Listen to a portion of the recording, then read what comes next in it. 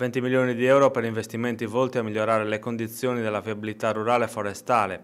Li ha stanziati l'assessorato regionale dell'agricoltura che ha pubblicato i bandi cui possono partecipare i singoli comuni o associati ai consorsi di strade vicinali.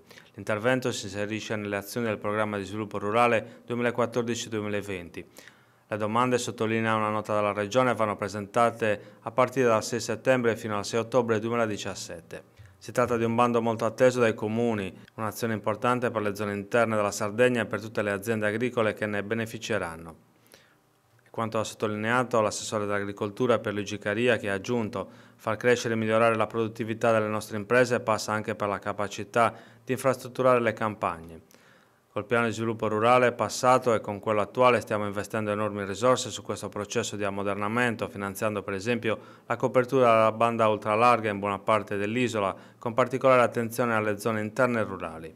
L'importo massimo della domanda di sostegno è fissato in 200.000 euro, IVA inclusa, spiega la Regione. Nel caso di domande presentate da comuni associati, l'importo potrà essere moltiplicato per il numero dei comuni interessati dall'intervento fino a 600.000 euro è consentito il finanziamento di un solo intervento per territorio comunale.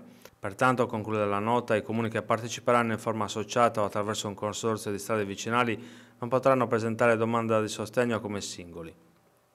Così come i comuni che invieranno domanda singolarmente non potranno presentarsi in forma associata o in un consorzio di strade vicinali.